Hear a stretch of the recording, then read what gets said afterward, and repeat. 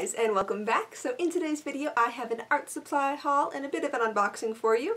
Uh, these are actually some materials I purchased for the courses I'm taking this semester and uh, turns out I'm taking oil painting so let's get right into it. The first item we have is some Gamblin Gamsol. I've never used it before but it's apparently 100% pure odorless mineral spirits. That, that seems useful I think It is the standard for studio safety and thins, oil colors, and painting mediums brush and studio cleanup. Alright. The next item is from Michaels. This is Winsor & Artists Oil Color in Alizarin Crimson. Once again, uh, i just bought the colors that were on the list, so I know nothing about oil paint. I've actually only ever used it once for like an hour, and I didn't know what I was doing. So I'm very excited to learn what I'm doing. Next item we got is actually packaged, so we are going to unbox it together. I did a big order from Blick's as well as uh, going to like Michael's and trying to find all this stuff because there was a glitch in the system. And basically, everything the teachers had uploaded to the online database my school uses for us to be able to access and like turn in assignments and whatnot got deleted like the week before school started and uh, the lists were all in a different place than normal um, because I took last semester off so they changed things since the uh, a year ago. Is that how long it's been? Oh whatever two semesters ago. That hurts less than a year ago but anywho uh, we all got the supply list and just had to order everything the first week of classes rather than having it in advance which is fine. The teacher's really cool about it too. This is walnut oil. It's extra pale, cold pressed, and boy oh boy, does this marketing appeal to me. Does that not look like old-timey goodness that I would use if I was in like Little Women 2019? Uh, do you guys like Little Women 2019? Oh, I got that for, with an Amazon card I got for Christmas. But it's so good. It's so good. Alright, next thing is in a small box. It's cadmium free. it's cadmium free yellow light oil paint, 37 milliliters. Um, this one is, ooh, and I'm gonna, I'm gonna say the name wrong, but Utrecht? Utrecht? Utrecht? Anyway, artist oil colors, cadmium free yellow, certified non-toxic, and uh, I'm pretty excited about this. I didn't really, so Funny story, I actually mixed up carmine and cadmium, and I was like, oh, I can't, I can't buy cadmium paint, you know, for the animals. And then I'm like, apparently cadmium is just a, a harsh metal, which still isn't great, but no animals are harmed during the making of it, which makes me feel better about my life choices, so that's good. Did I spend like $13 in Blick's to get this one? Yes, but I don't know. Uh, my teacher, the first day of class, was like, "Oh yeah, cadmiums are so bad. You know, they touch your hand and it soaks right into your bloodstream." And I'm like, "Oh, why was that not on the syllabus?" it's fine though. Next item, uh, she didn't recommend sizes for us to get for oil paints, so I just kind of guessed and bought like the smallest one for most. But I know from the two people I watch who oil paint, Baylee Jae and Ruth Spear, that you're gonna need a lot of white. How do you open this?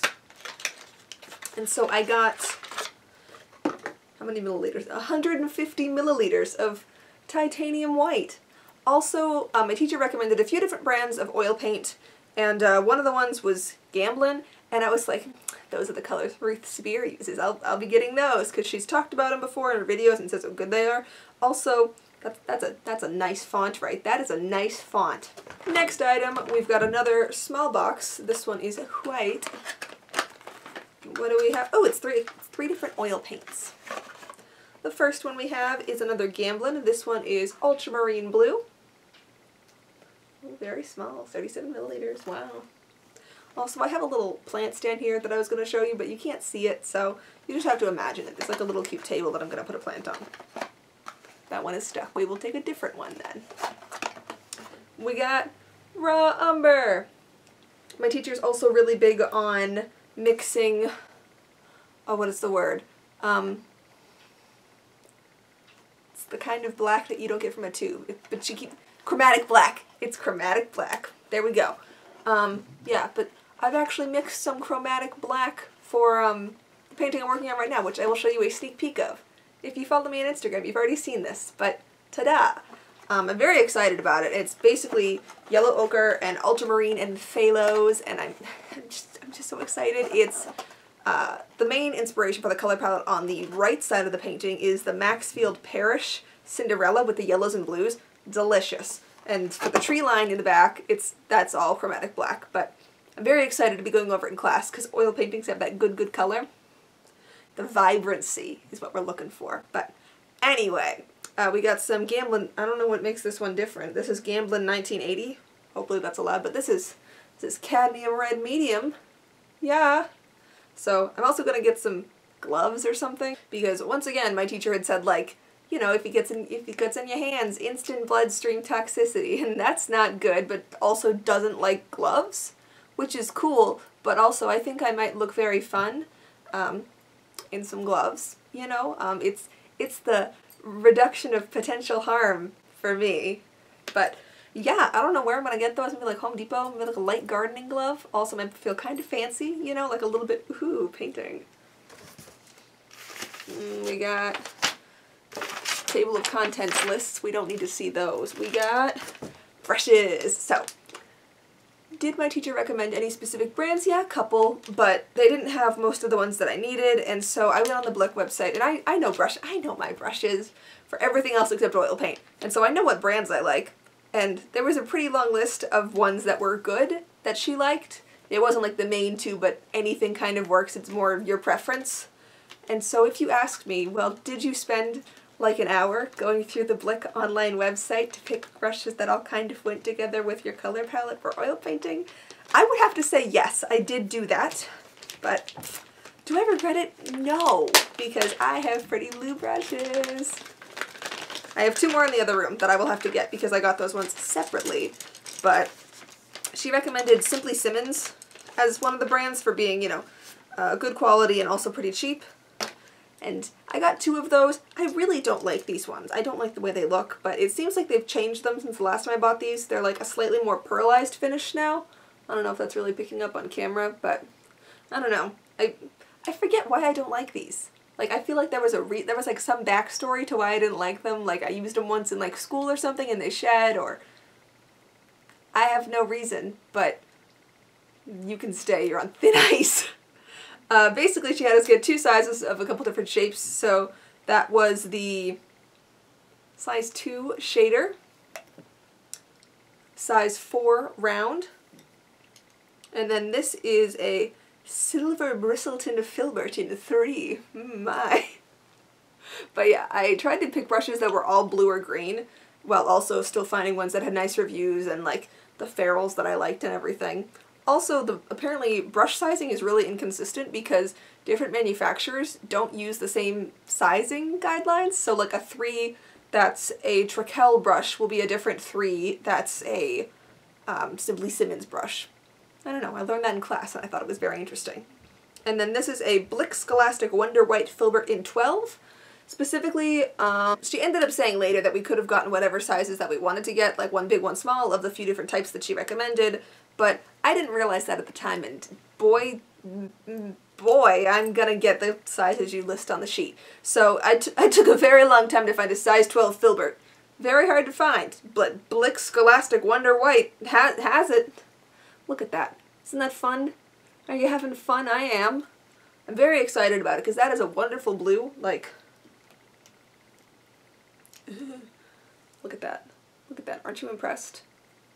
Um, not saying it's going to be kind of a flex when I roll up to the studio with all my matching brushes, but uh, kind of a flex. Like I'm going to be rolling up to the studio anytime soon. I'm going to walk into the next room and uh, say, hey, I'll do it on Insta Stories or something so you all can see that I actually get to do it. But uh, next item is the Gorilla Painter car carton board. Uh, these were recommended and they were, I've never used these before. 6 by 8 panels of 10 sheets of resin impregnated carton for oil, acrylic, and pastel. Okay. Um, they're very archival. They're waterproof and are super lightweight, may be used as is or primed with acrylic gesso, acrylic gel medium, or PVA. Mounted to a rigid support before final framing is advised. California Prop 65 warning. Why? Why would you rec- why would you recommend a toxic material to a beginner class? I don't think I like that very much. Like Okay, well, we're, I guess we're not unboxing these. I don't want them in my bedroom. no, but in all seriousness, um, I, I think, like, it's, on one hand, if the paint is toxic, okay, but, like, to what level, like, why? Why? I could I could have just bought gesso boards and we all would have been happy, but no. Next thing. So we later found out we didn't actually need these, and it was just like a suggested item on the list, and that they don't do it every year, but it was on the list, and so I bought it. Actually, we'll keep it in the wrapping because I don't know when we're going to use these. Like, or if we'll use these. So if I keep them wrapped, maybe I can return them. But it's uh, two 12 and two 16 inch stretcher bars for like canvas making. I don't like, I don't like boxed can, like the framed out, you know, fabric canvas. I don't, I don't like that. I've used it for acrylic before. I'm not a fan. It's too bouncy for me. And my teacher, when we had our first class, was like, I, I don't like canvas. I'm like, what were these for then? Like, it's gonna be cool to know how to do, but I don't know that, I don't know that I'll use it all that often. But, I digress. Up next is this palette knife. Wow! With a very impressively tied knot in the bag. That's, that's kind of fun. Thank you whoever bagged this for me. I didn't know anything about fancy palette knives. I've only ever bought the plastic ones from like Joann's that come in the large bag. So there's that. But this is an RGM Blick nickel style painting knife number 30 made in Italy. So jot that down. But uh yeah, she we we had to specifically get the kind with like this sort of this sort of aggressive pizza shape uh, with the pointy end.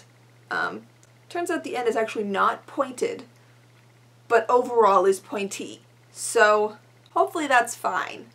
If not, I will just use simply a toothpick or something to mix, but I feel very professional right now. the, the the plastic $2 one does not really instill the same level of inspiration. It's like, oh yes, I am mixing colors. Mm. You get it. Next thing. It's what you've been waiting for all this time. It's one 60 inch yard of 12 ounce unprimed canvas, of course. Um, it's just the Blick kind. It goes with the stretcher bars. And it's double woven for strength. That's fun. I'm excited for that. Because even if I don't frame it out, I am excited to do a large painting because there's one thing I like to do, it's work at reprehensible sizes. Ah, and then the next thing we've got is this Gray Matters paper palette. Uh, they're natural gray sheets for color mixing with a color mixing guide inside. There's 50 of them, 12 by 16. Very cool. Yep. It's palette paper I'm checking right now. Whee! Uh, the only palette paper I ever used was in a painting class I took junior year of high school in like the summertime. So I liked it a lot. It was great but uh, haven't used it since. I'm always like, I'm gonna buy some of that, and then I never do it because I don't paint acrylic often enough. and then I got back into acrylic and was like, I'm gonna do acrylic wash. So, you know how it is. And then this was another optional thing, but I, I really wanted it because she was like, you can save paint if you use this. And I was like, yay, I love saving paint. Also, the more paint I actually use on the painting, and the less goes into like the landfill because I like mixed it and didn't use it, like the less toxic metals that are just loose in the landfill. I don't know. Or and just like that you might touch accidentally, you, you know? That feeling. Anyway, this is it. It's an artist palette seal. It's very big. It's 12 by 16 and it specifically is 12 by 16. So the palette paper, right, can go inside. Ta-da! You can't you can't really tell. But it'll work great once it actually all gets together. And then last thing that I have right here and don't have to go into the next room and grab real quick is this canvas pad. Ta-da! Okay, it's the Blick Studio, wait, you probably can't hear me. It's the Blick Studio canvas pad. It's real canvas, it says so right here. Triple primed with acrylic gesso, suitable for use with any medium. Wow! It's also 10 sheets, 18 by 24, and was incredibly hard to find. Uh, you know, it's hard to find 18 by 24 canvas paper. Like, I don't know how that one took me so long to find, because it's, it's the Blick brand. You think that would come up. But I kept finding Fredrix, and like, I know Fredrix is like bougie for painting, like Lachri Fine Art. She's sponsored by them, and it seems very nice. But also, I don't know what I'm doing, and so that kind of didn't feel justified to spend that much on stuff I don't know how to do. So, yeah, I'm very excited about it. I like that it is orange, and I'm just leaving my French easel up in the other room, which is why we're filming in here, because there's no room. Um, but yeah, let me run and grab those brushes and a couple other things that are in there, and I will show you those. So, for the third and second to last things, I have just the two other brushes. I got these two first, and I was still trying to find those really specific brush sizes that she had sent for us. And so this is a Crafter's Choice number 10 round, and I bought it because it's gorgeous! Um, if you've never used the Joann Crafts brand brushes, I love them. Use these for acrylics, and it says they're also good for oils, so I'm excited about that. I also use them for watercolor sometimes, like the, the one that I had for it I accidentally used for acrylics, and now it's an acrylic brush, but you get me. They're also really cheap. And then the last thing uh, for brushes is this number 12 Royal and Langnickel. Um, it's a flat. I'm very excited about it because it was so hard to find. But they had it at an obscure Joann Crafts, and look at her. She's so pretty! It's like this minty, tealy green, and the ferrule is gold. Like, if I were a brush, this is what I want to look like.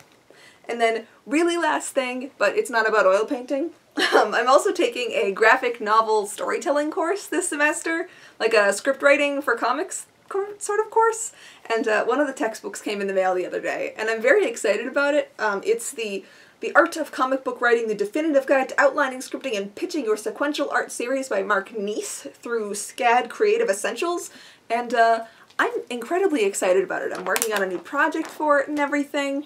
Also, regular comic updates are coming soon, so stay tuned for those. But yeah, I hope your semesters are also off to a good start. Like, we're, we're aiming for the middle of the road here this time. Like, am I gonna try incredibly hard in my classes? Oh, for sure. But I hope your semester is going well. I hope it's I hope it's okay.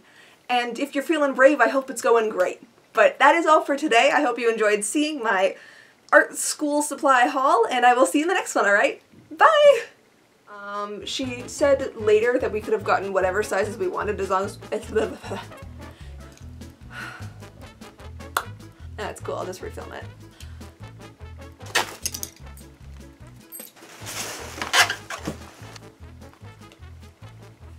Ah yes, in frame. um, these are the ones I really like to use for oil oils. These that's what this one's for.